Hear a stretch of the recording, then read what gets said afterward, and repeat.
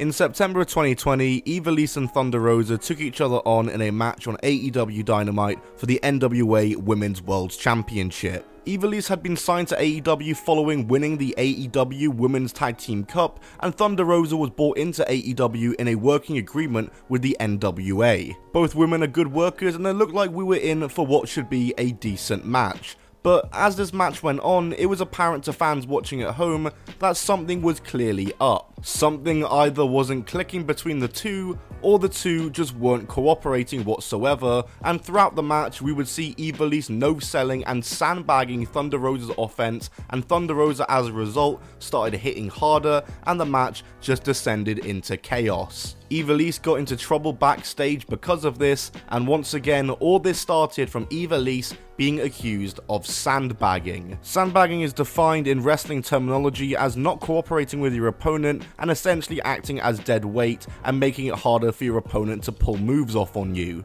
In April 2021, Eva Ivelisse departed from AEW and would end up having a lot to say regarding the incident with Thunder Rosa. She spoke about it in a September 2021 interview with Chris Van Vliet, where she detailed her feud with Thunder Rosa and the incident.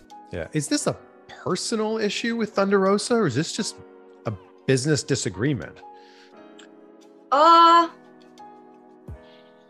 it's a culmination of a lot of things from her part. Uh, in the past, it all started in the past in Lucha Underground.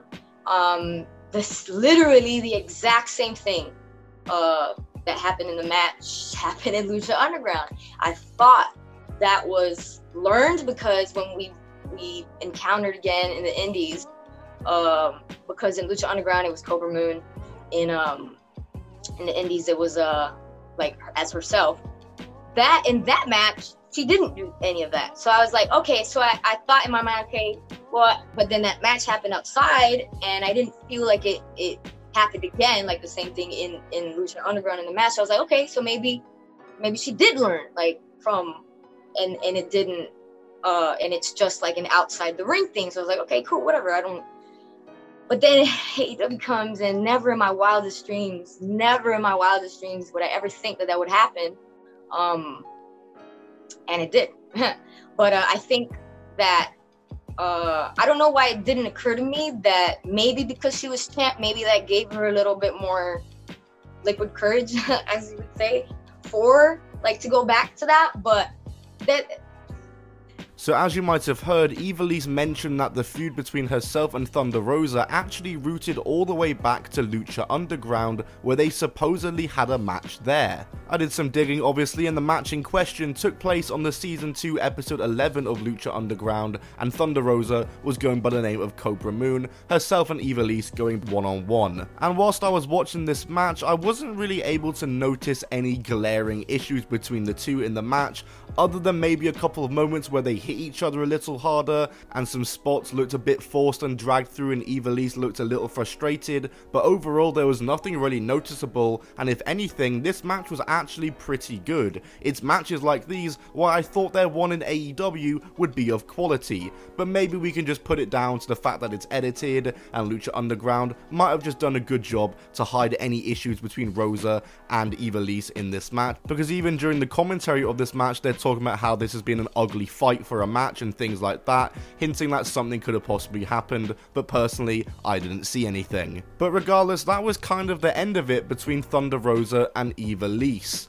Or was it? Because in June of 2022, Thunder Rosa herself got caught up when she herself was accused of sandbagging. On the June 8th, 2022 episode of AEW Dynamite, Thunder Rosa defended her AEW Women's World Championship against Marina Shafir. And during this match, fans would take notice of some moments that took place, some strange moments such as Thunder Rosa failing to follow through on a suplex and refusing to be thrown out of the corner by Marina, thus leading to her being accused of sandbagging.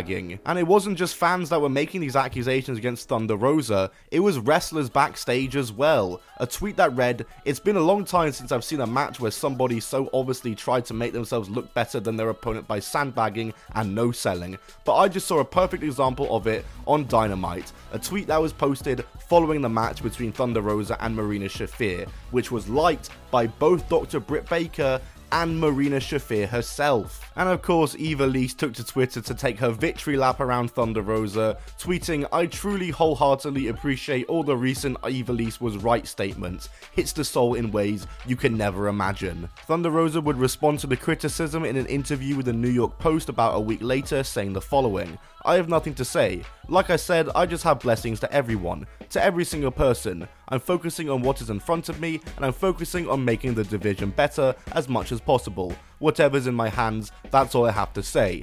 I don't like to get into these comments, I respect my opponents all the time. Thunder Rosa and Marina Shafir were able to put their issues behind them when a week later on the Dynamite after the incident took place, the two reconciled backstage, and Thunder Rosa posted pictures of the two on Twitter with the caption reading, Today we take responsibility and work on being better, because at the end of the day, we break bread two mothers navigating a world in where we both never ending learners. And there was also a Thunder Rosa sandbagging shirt made, which she came out on Dynamite wearing herself. Way to own the incident, I guess. But as for Thunder Rosa and Britt Baker's problems between each other, well, that's a whole story for an entirely different video.